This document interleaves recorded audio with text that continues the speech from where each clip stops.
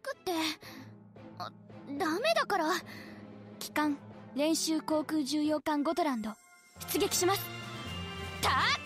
どうも、小林です。今回は桃の節句の期間限定の任務になる、鎮守府近海春の安全確保作戦任務の攻略をやっていきたいと思います。この任務が、駆逐艦または解剖艦3隻以上を編成して、1の2、1の3、1の5、1-3、1-5、1-6を各1回 A 勝利以上ですかね。で、まあ1-6はゴール到達で達成です。で、こちらの任務期間限定なんですが、ウィークリー任務になっているので、まあ、毎週の任務消化忘れに注意です。1の2の編成ですが、軽順1駆逐4隻でボスの最短固定が可能です。月が変わって任務を復活しているので、マンスリー任務の平坦線確保、海上警備を強化実施せよと同時消化や、2月のイヤリン任務、解剖艦海を守るが終わってなければ、まあ、こちらも同時消化可能ですね。連合艦隊所属、明石抜量します次に1の3ですね。駆逐3隻編成なので、後順を1隻入れるか、駆逐を、まあ、もう1隻追加して4隻にすると、ボス固定が可能です。あとは残ったところに、1、2隻軽空母を編成するといいかなと思います。で、こちらも1の2と同様に、マンスリー任務や2月のイヤリ任務、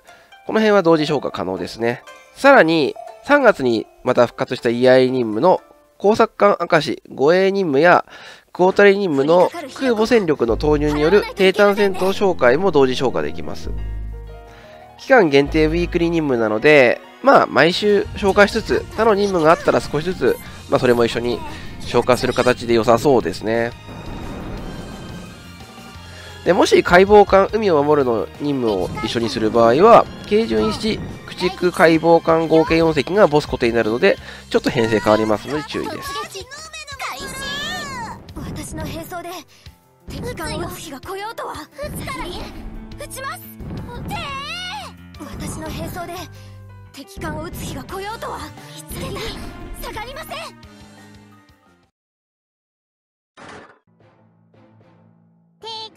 型解剖艦4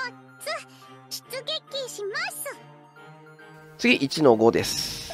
ここは先制対戦できる駆逐化解剖艦4隻。編成ですね。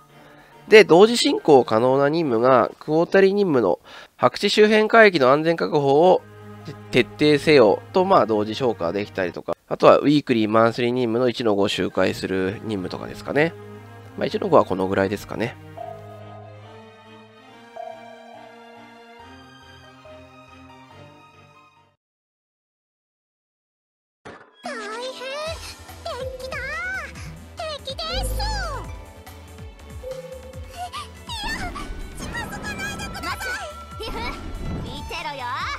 やっつけるさせない。こっち来んな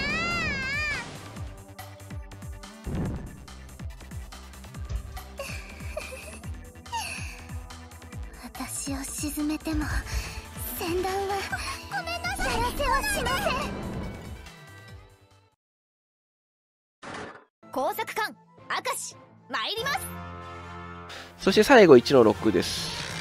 この任務のみなら軽順1駆逐後のしたルート固定がまあ一番いいんですが他の任務と同時消化するなら他の任務に合わせた編成になるので下ルートで羅針盤1回勝負するか上ルートでルート固定するかのどちらかになります。できる任務が2月のイヤリ任務の解剖艦の任務か、3月のイヤリ任務の明石の護衛任務か、まあ、あとはクォータリ任務の強行輸送艦隊抜量、まあ、どれか一つと同時消化ていくといいですかね。今回自分は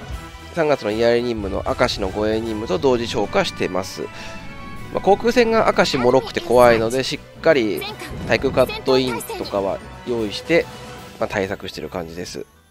そして任務報酬ですが、選択報酬は、対地装備足りてない人なら、迫撃砲を選択しておくか、まあ、不要ならお好みで、開発次第とか選ぶのがいいかなと思います。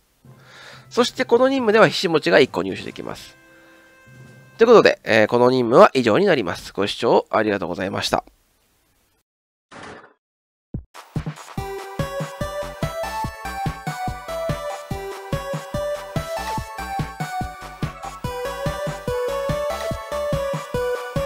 よろしく